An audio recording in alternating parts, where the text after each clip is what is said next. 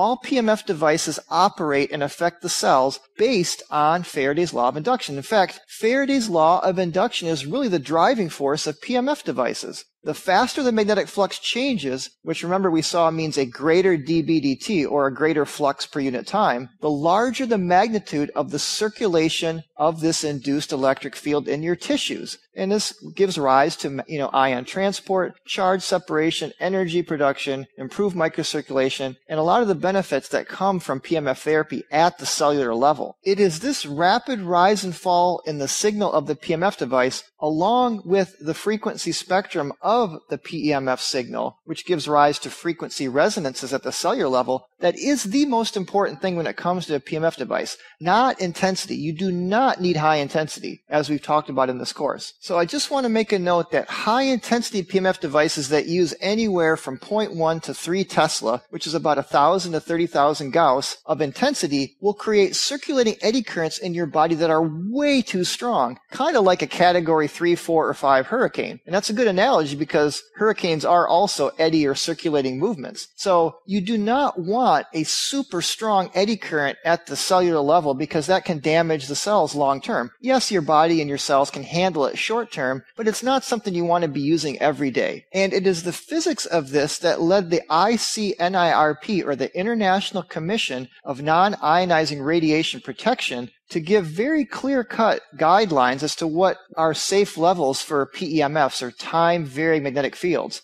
I'm going to go through this in another video, but basically these high intensity units are way off in the deep end in the danger zone. Okay, this is this is again physics and biophysics, and it's it's a lot of really good experiments and testing done by one of the most respected governing agencies in the world that kind of governs the safety of electric, magnetic, and electromagnetic fields in the workplace and at home.